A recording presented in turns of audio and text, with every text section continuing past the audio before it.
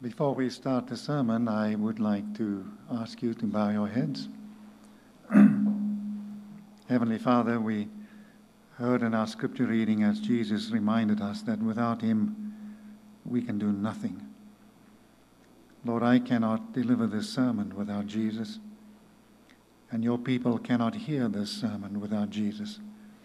And therefore, we ask that you will come, touch us, open our hearts, open our ears, and Lord, touch my lips. We ask in Jesus' name. Amen. Can you remember the sermon that our pastor preached last week?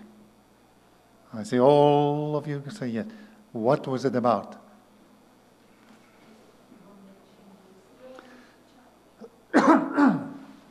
Yes, it was about the necessity of change in our lives. I think that was about the third sermon he preached on that topic, and, and I certainly needed it. Uh, I think God spoke to me last week about the necessity of change in my life. And I asked him, Lord, help me now to bring a message as to how we are going to change. How can we change? Do you know who Mr. Dressup is? You don't because you're not Canadians. Mr. Dressup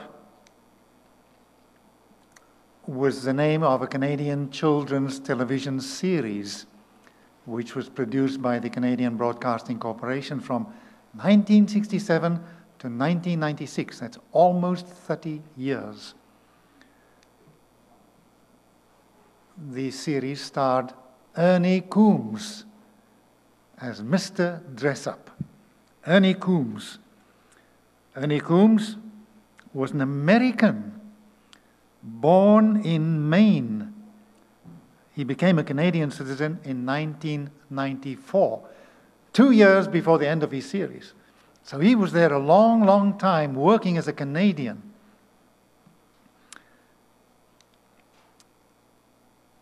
The show aimed, uh, aired every weekday morning, every day. Each day, Mr. Dressup would lead children through a series of songs and stories and arts and crafts, and imagination games. It was a wonderful thing for Canada. I wish we had more of the Ernie Coombeses here in America on television for our children. Ernie Coombs was a, uh, presented with the Earl Grey Award, which honors excellence in Canadian television. He was a spokesman for the Canadian Save the Children organization and received an award from them in 1997. In 1996, he became a member of the Order of Canada. The Order of Canada is presented to a limited number of Canadians who exemplify the highest qualities of citizenship and whose contributions enrich the lives of their contemporaries. And he certainly did that. Think of it 30 years. How many children were influenced by Mr. Dressup? He himself had three children two sons and a daughter, and several grandchildren. Ernie Coombs lost his wife in 1992. I remember I was there in Toronto when it happened. It was a freak accident. They were. Uh, eating in a restaurant, and a vehicle came by accident and crashed through the plate glass, glass and killed his wife. Ernie Coombs died at the age of 73 from a stroke, September 18, 2001. Now, few people know these facts about Mr. Dressup. Not too many people. Even in Canada. Somehow, the next generation forgets. But what they do know about him, he was a friend of children. It's not a bad way to be remembered, is it? A friend of children. All right, with that introduction, now the sermon. Strange how many gimmicks in our lives come and go. Wonder if you will recognize some of these. What was that? Oh, you all know it hula hoop. You tried it, did you? Do you see any of those around today? Well, they're kind of coming back, are they? Yes. How many of you remember that? What is it? A top, wooden spinning top with a string. How many of you boys or men used to throw that top and could you do it? Were you able to pick it up between your fingers and then on the palm of your hand, throw it up and down, and it keeps spinning? Yeah, that's what we boys did. But somehow that has disappeared now. I wish our children could still have the joy of playing with a top. Remember this one? this one is still around. I remember when it came out in South Africa, I was just a boy. It was so popular. Every single household had at least two or three jigsaw puzzles. In my home, we were poor, but we had jigsaws, not because we were able to, to buy them, but we had a large family and richer people, and they would, as soon as they finished with them, they would hand them down to us. Problem was, sometimes these jigsaw puzzles caused great frustration. I think frustration is a jigsaw puzzle with several pieces missing. Even worse, sometimes it came and there were pieces mixed in from other puzzles. Now that is a problem. You know, sometimes I think the Gospel of Luke is like a jigsaw puzzle with missing pieces. Have you ever thought that? Why do I say that? Luke is such a wonderful gospel. Don't think that I'm saying anything negative about Luke. I love the book of Luke. Luke is the only gospel that'll give us the story of the prodigal son. Did you know that? Chapter 15. Several other things that Luke only has. Luke is the only gospel that gives us the story of the unjust judge in chapter 18. And then in chapter 18, verses 9 to 14, we have the story of the praying publican and the bragging Pharisee. You won't find that anywhere else in the Bible, only in Luke. So I'm very grateful for the Gospel of Luke.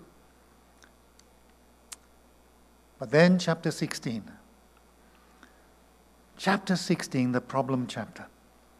Here we find two stories that has given me some headaches and heartaches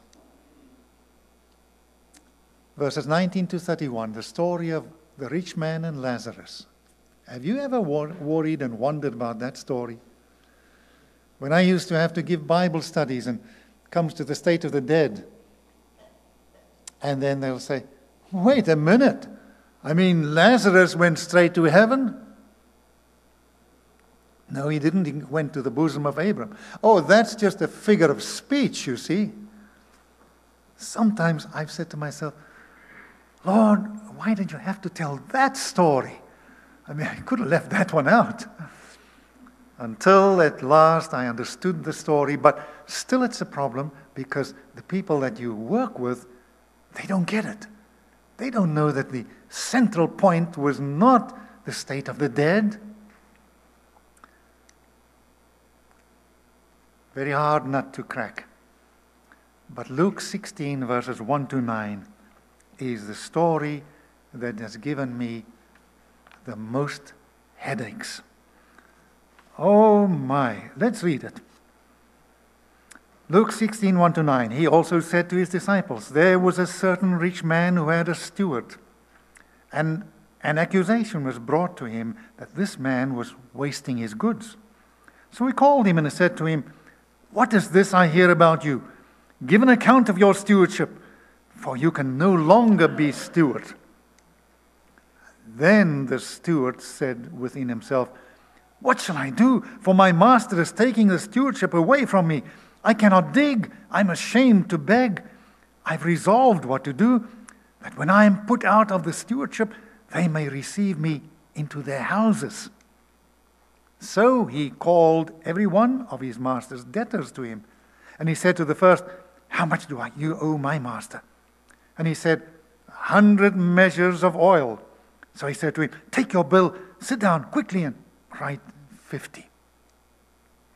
Then he said to another, How much do you owe? So he said, A hundred measures of wheat. And he said to him, Take your bill and write eighty. So the master commended the unjust steward because he had dealt shrewdly. For the sons of this world are more shrewd in their generation than the sons of light. And I say to you, make friends for yourselves by unrighteous mammon, that when you fail, they may receive you into an everlasting home. Can you see the problem? Let's consider some of these problems. The master commended the unjust steward because he had dealt shrewdly. Isn't that a problem? Would you commend your child if he did what that steward did? Is it ethical? Is it right to commend someone for doing what is wrong? Well, that bothered me so much. At least I came to the conclusion that that wasn't Jesus commending him. Jesus was just telling the story. It was the master of this steward that commended him. And Jesus was going to use that as a lesson. So it wasn't the words of Jesus, the actual recommendation. But the last sentence of verse 8 presents a bigger problem. For, let's see.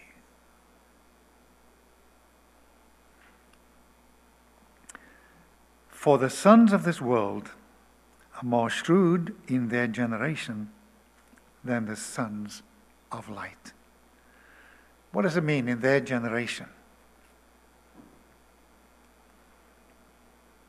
in their generation, if they are, wi- they are wiser or more shrewd in relation to people of their own kind, to people of this world.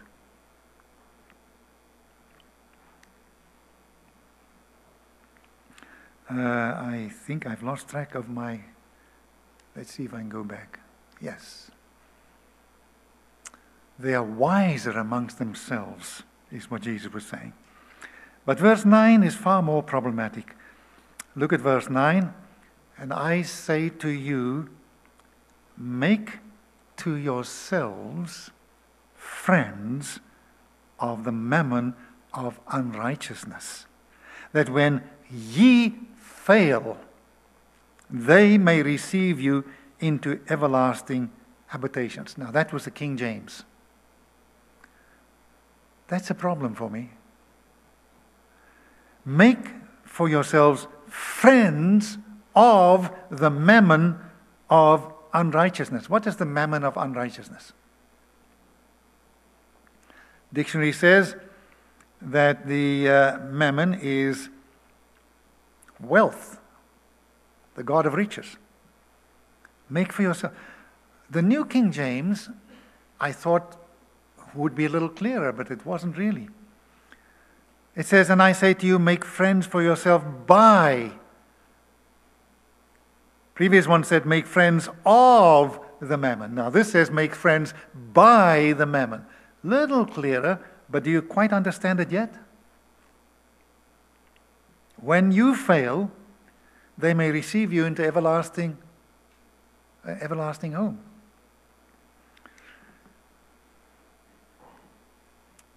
Mammon is the riches, the wealth of the god Mammon.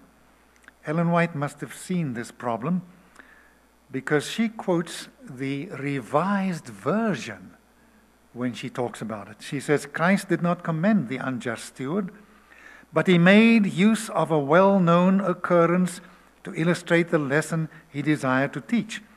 Make to yourselves friends by means of the mammon of unrighteousness. Did you see that? She's quoting not the King James. She didn't have the New King James in those days, but she's quoting the revised version. That's not the revised standard version. That was before the revised standard version. Because it makes it clear. Make to yourselves friends by means of the mammon of unrighteousness, he said, that when it, what's the it? The riches shall fail.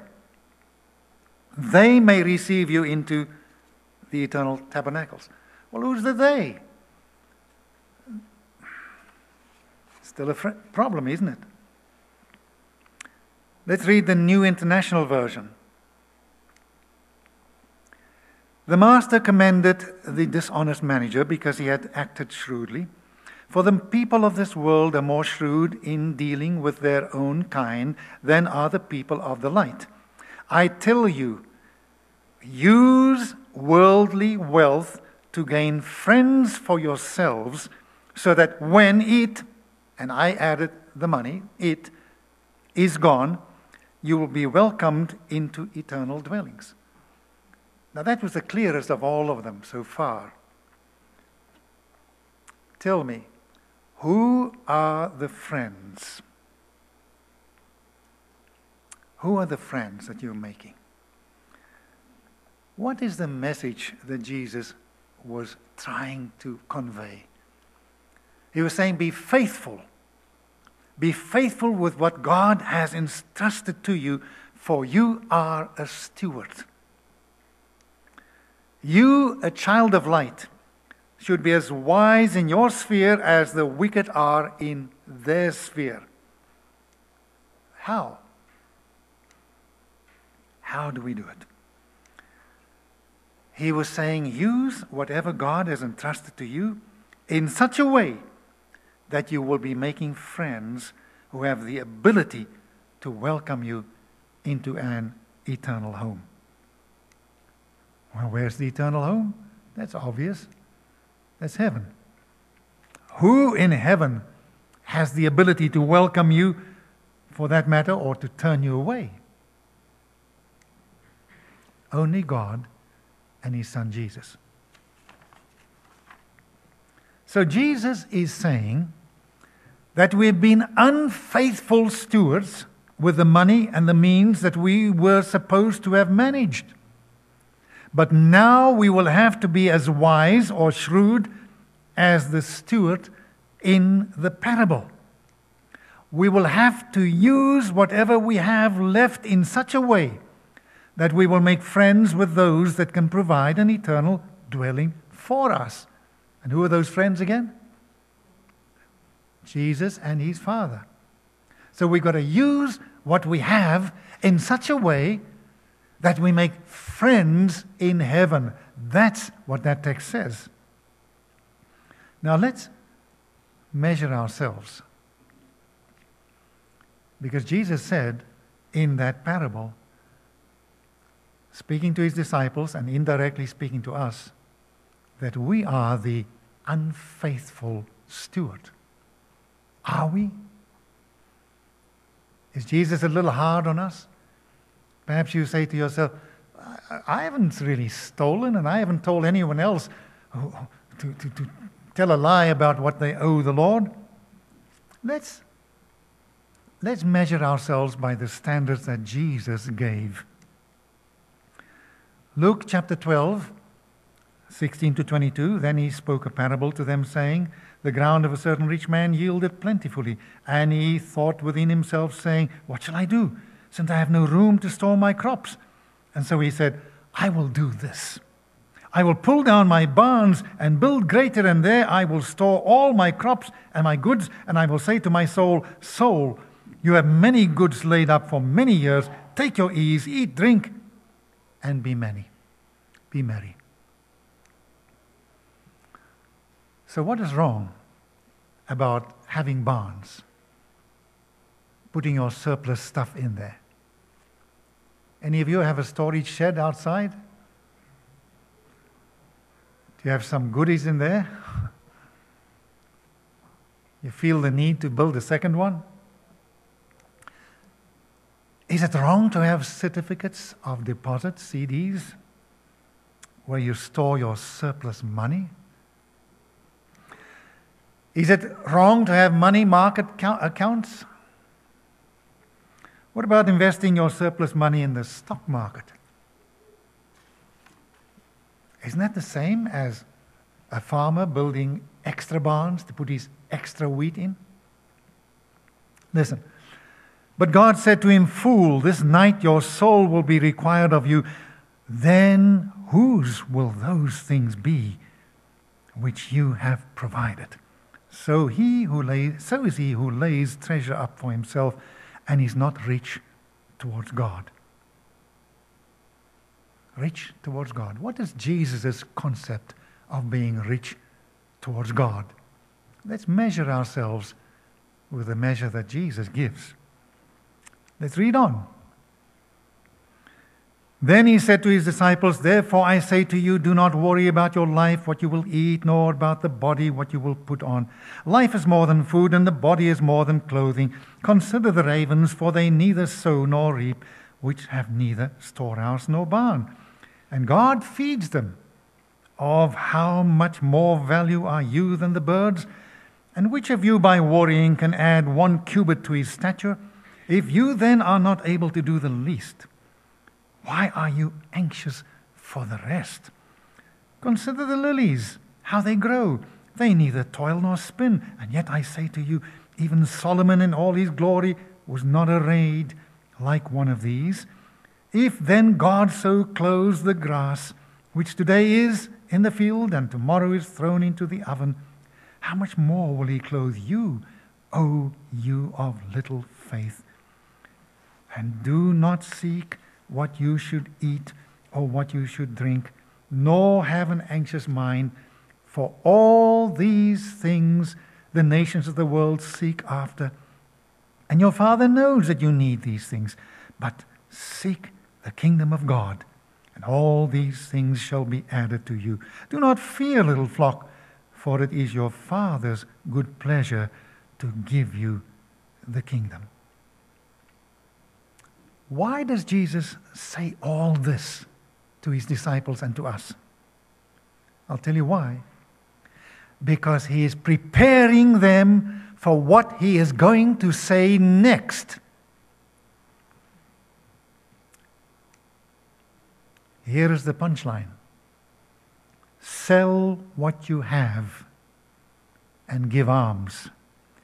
Provide yourselves money bags which do not grow old a treasure in the heavens that does not fail, where no thief approach nor moth destroys.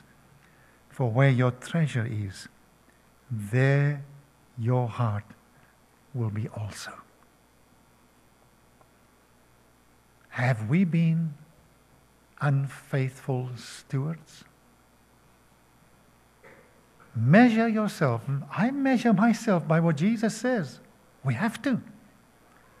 Which of us have done this? Which of us? See what James, the brother of Jesus, says. James 4. You ask and do not receive, because you ask amiss, that you may spend it on your pleasures. How often have we read that text to other people? Adulterers and adulteresses do you not know what, that friendship with the world is enmity with God? Whoever therefore wants to be a friend of the world makes himself an enemy of God. James, are you not being a little hard on us? Spending on our pleasures, spending on our pleasure is friendship with the world enmity with God. Jesus says we are supposed to use our worldly wealth to gain friends in heaven who will allow us to come into heaven. Let's be honest with ourselves this morning, brothers and sisters. How do we spend our money? How do we spend it? Have we ever spent our money, the money that God has entrusted to us, on our own pleasures? What did you buy last Christmas? How about that luxury car? uh, don't need that old Toyota anymore. I think I'll buy myself a Mercedes Benz now. Did you really need that big screen, high definition television? Did you really need that extra computer? Well, computers go out of date, maybe we do. Uh, how about that snowmobile? What about that pleasure boat? Oh, well, we have to have recreation, you know. Uh, why not get a top? Spin a top rather than a pleasure boat. How about that motorhome? The latest cell phone? How about that vacation home down in Florida? Or is yours down in California somewhere? Oh, wretched man that I am. We all fall short, don't we? We are unfaithful stewards in need of friends in heaven. You know, I think it was easier for me when Luke chapter 16, 16 was still a jigsaw puzzle and I didn't understand it. We desperately need friends in heaven to welcome us into heaven, and therefore we have to use our resources in such a way that will make friends in heaven. John 15 Greater love has no one than this, than to lay down one's life for his friends. You are my friends if Little word. Little word. Tremendous implications. You're my friends if you do whatever I command you. What a menacing word that if is. You're my friends if you do what I command you. What does he command us to do? Let's measure ourselves by His standards, the commandments of Jesus. Deny yourself. Take up your cross daily and follow me. What does it mean to deny yourself?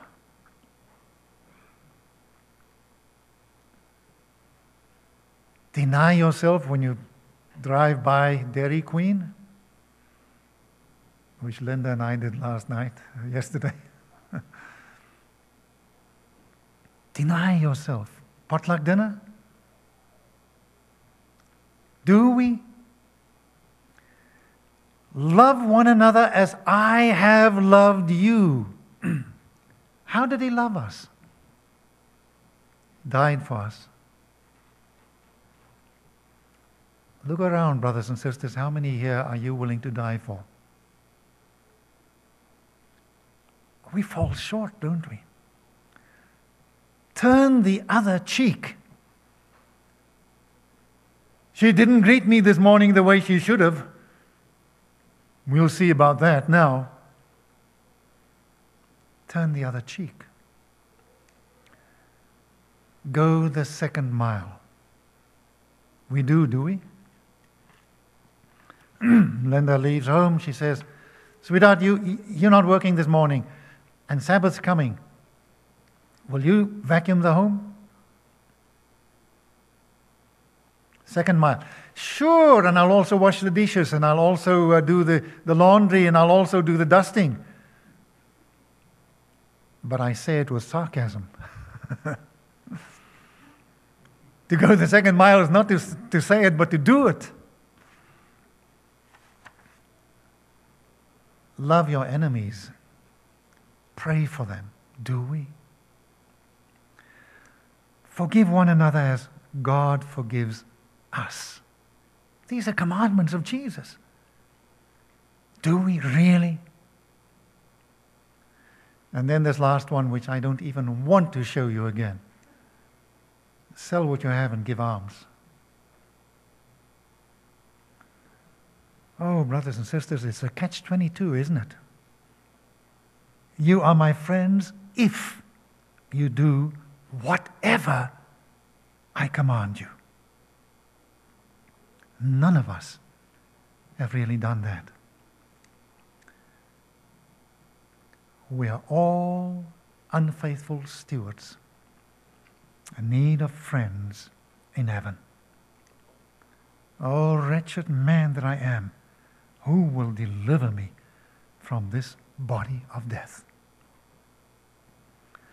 I'm going to share with you something from a, a writer that I enjoy very much, C.S. Lewis.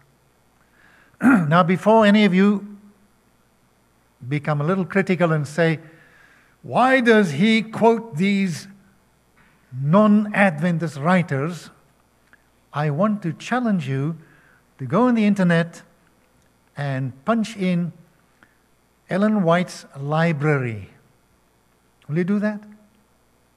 She had a tremendous library. I counted, I think it's around about 2,000 books that are mentioned there. And of those, I suspect almost half, maybe a third, are books by famous Christians, Protestants. Well, C.S. Lewis was also a Protestant, Christian. He was a man who loved the Lord. He didn't have all the truth that we have. Of course, he didn't have the Sabbath truth. He didn't know about the state of the dead. He had a wrong concept about the soul. But did he love his Lord? Did he have an experience with his God? Can he teach us something in that area? I believe he can, and he does. So I'm going to share with you from his book, Mere Christianity. M E R E, Mere Christianity, which means simply Christianity. How did he write this book? He was asked, it was soon after World War II, or actually, it was during the last years of World War II.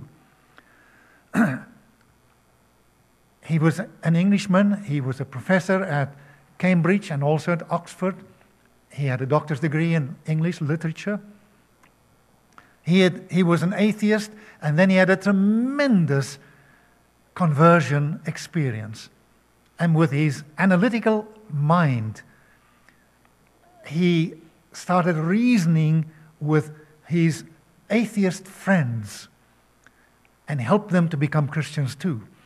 Then he was asked to do a series of lectures on radio to help college students who were steeped in evolution to see the truth of a God of creation, a God of love, a God who came to die for us. And Lewis then gave a series of talks where he so beautifully, so logically, so simply, and yet so profoundly explained the principles of Christianity. And then he wrote it down in this book, Mere Christianity. I recommend the book to you. It is really very, very good.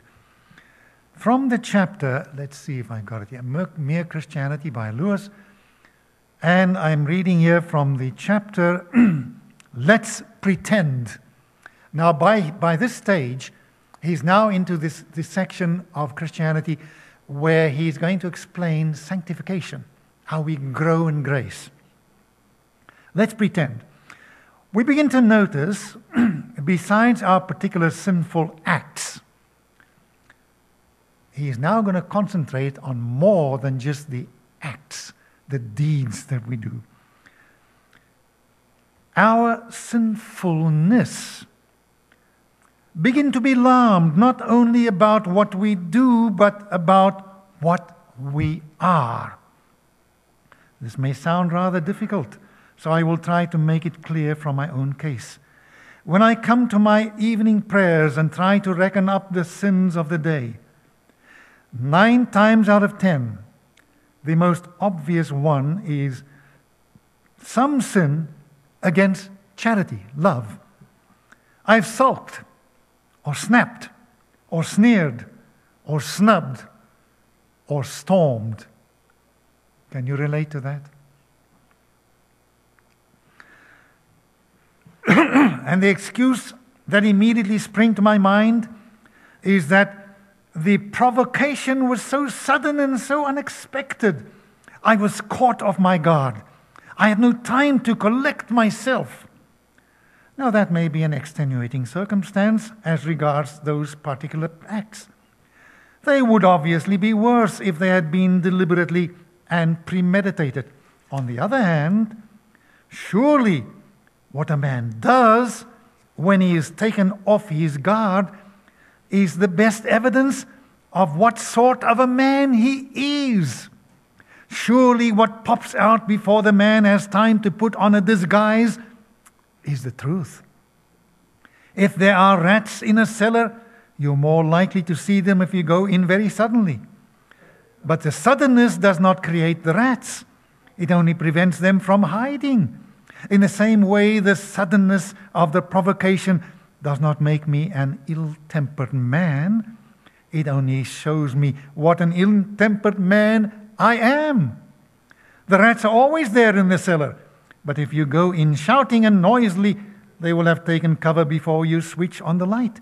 Apparently, the rats of resentment and vindictiveness are always there in the cellar of my soul. Now, that cellar is out of reach of my conscious will. I can, to some extent, control my acts, but I have no direct control over my temperament. Is that cut off? No, you have it. It's cut off over there. and if, as I said before, what we are matters even more than what we do, if indeed what we do matters chiefly as evidence of what we are, then it follows that the change which I most need to undergo is a change that my own direct voluntary efforts cannot bring about. Lewis is saying that the real you, the real me, is revealed by sudden crises.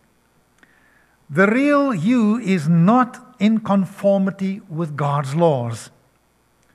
And my conclusion is that the real you, the real me, is not a friend of God.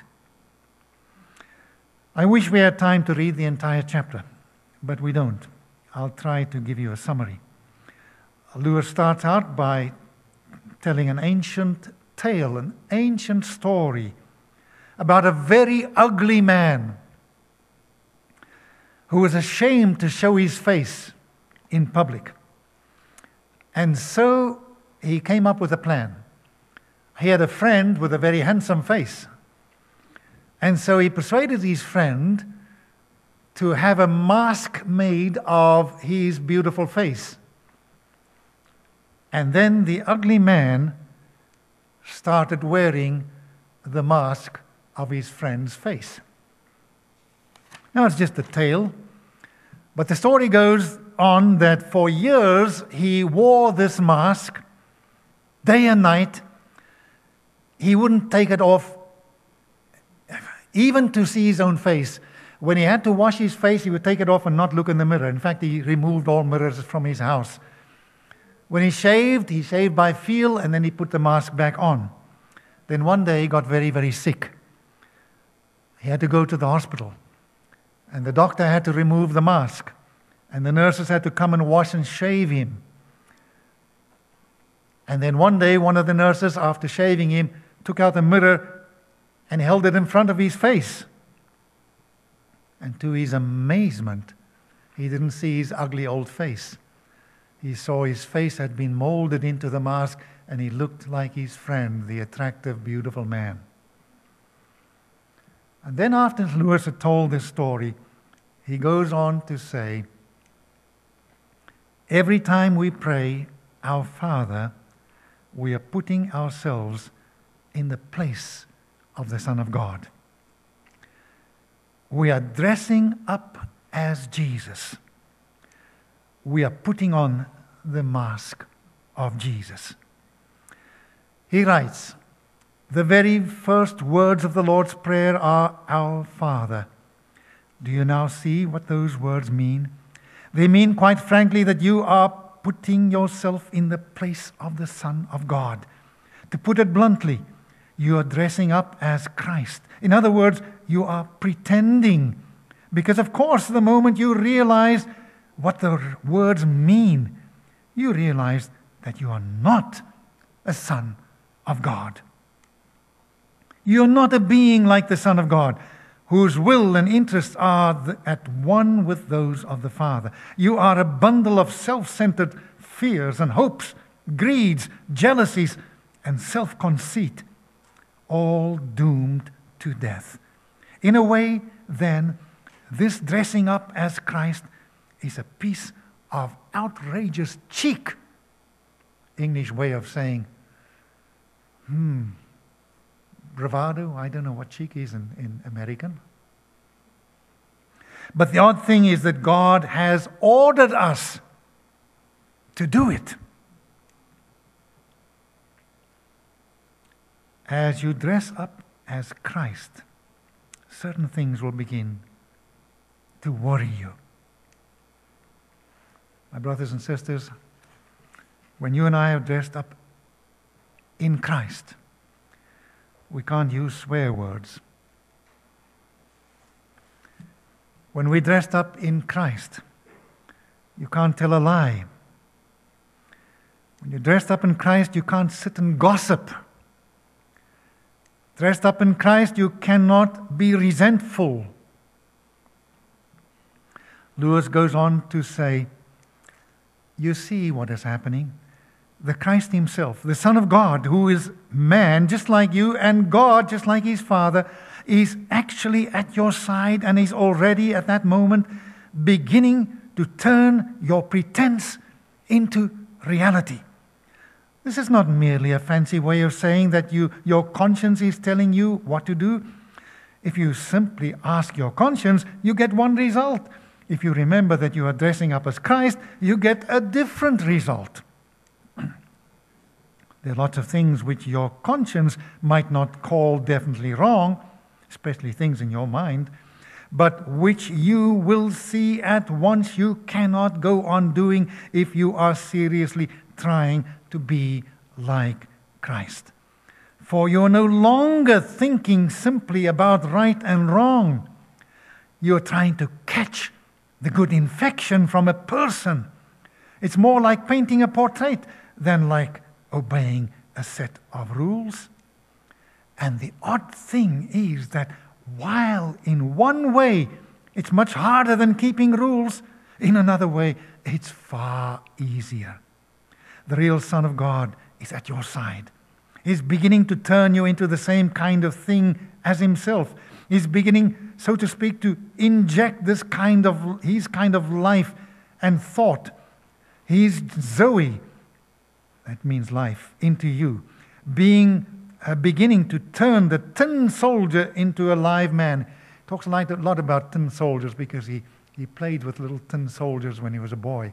But then he talks about tin soldiers being turned into real human beings. That's what God does for us. The part of you that does not like it is still part of that tin soldier. And, brothers and sisters, that is really what John 15 is all about, isn't it? I am the true vine, Jesus said. My Father is the vine dresser.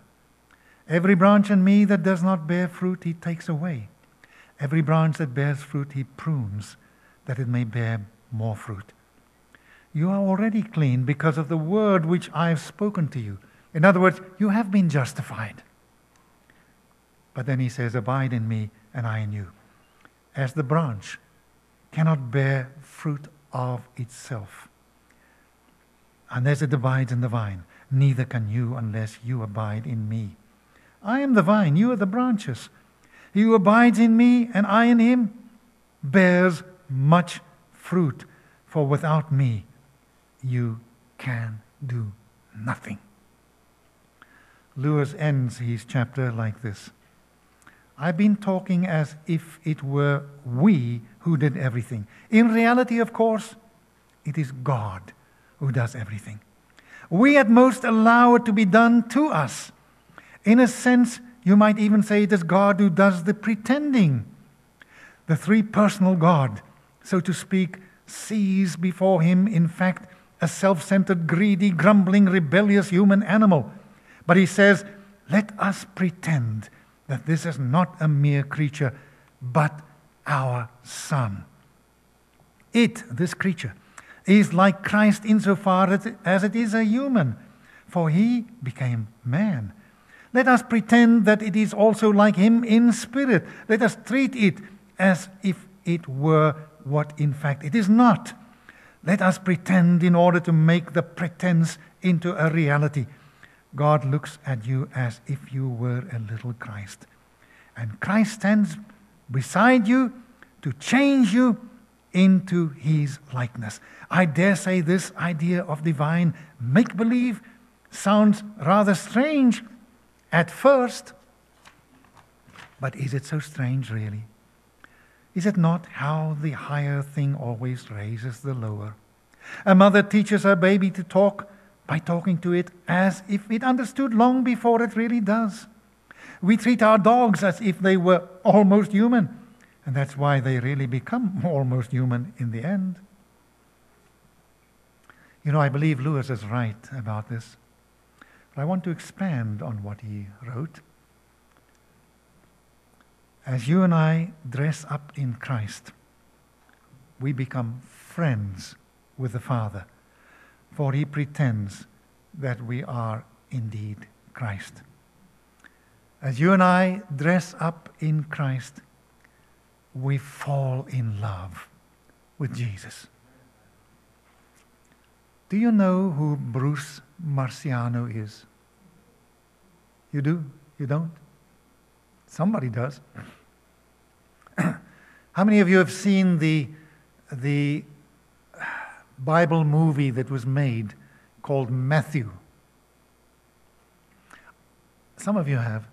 I don't recommend Hollywood Bible movies, usually, because they distort the Bible, they distort the truth. But I can re- recommend two series. The one is this Matthew movie, where they used only the words of the Bible. It was the New International Version words they used. I can recommend that one. At first, you may feel uncomfortable as you watch it because Marchiano portrays Jesus as a very cheerful person. But as you keep on, it will change your perception of Jesus somewhat. The other series that I can recommend is a series where it has the story of Joseph, Abram, Joseph, Jacob. Those are the three. Then it goes on to David, it wasn't as good, but Joseph especially. Bruce Marchiano. He played the role of Jesus. In this movie, he had to speak only the words of Jesus. He had to dress only like Jesus would have dressed. He had to express only the emotions that Jesus would have expressed, at least as he understood it. He had to display only the attitudes of Jesus. He wrote the book, In the Footsteps of Jesus. And in that book, Bruce Marchiano describes his emotional feelings, the impact that it had on him when he tried to be Jesus. It's a rather moving book to read. in the footsteps of Jesus. It describes how the movie was made. There were times that they had to stop all the cameras because Bruce would burst out crying and he couldn't go on because of his empathy with Jesus. When it came to the crucifixion scenes, he writes that again they had to do it over and over and over because not only he, but the crew, the camera people, all the helpers were weeping. It had such an impact on them. Bruce was never the same again. He started out as a film star, but as he dressed up as Jesus, he fell in love with Jesus. Today, he's a friend of Jesus and an ambassador for the God who, and, who conducted that, that movie, he believes. And he conducts revival meetings for the God that he loves. Oh, my brothers and sisters, may God give that you and I will have a similar experience as we dress up in Jesus from this day forward. For that's the only way to dress up as Jesus, to put on Christ, is the only way that unjust stewards, such as you and I, can make friends for ourselves, who will receive us into an everlasting home. It's my sincere prayer that we will love Jesus so much that we will become like him. That we will want to be clothed in his robe of righteousness, dressed up in his purity and his love and his goodness. And people will see us as Mr. and Mrs. Miss Dress Up. Not only a friend to children but a friend of God, the God of the universe. Our closing song is number 114. Number 114, and as we sing it, I want you to pay attention to these words. There's a wideness in God's mercy, like the wideness of the sea. There's a kindness in His justice, which is more than liberty. There's a welcome for the sinner. And more graces to, for the good. There's a mercy with the Savior, and there's healing in His blood. And this verse 3 I love. For the love of God is broader than the measure of man's mind, and the heart of the eternal is most wonderfully kind. Let's sing it as a, as a true prayer, the prayer of our hearts. 114. Let's stand.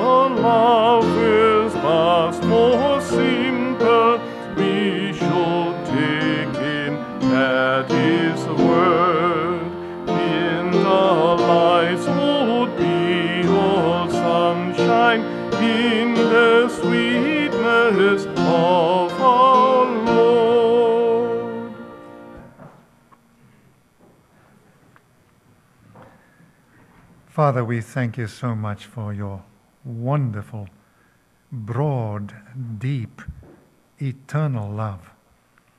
We thank you for our Savior Jesus, and thank you, Lord, that we can be clothed in His righteousness.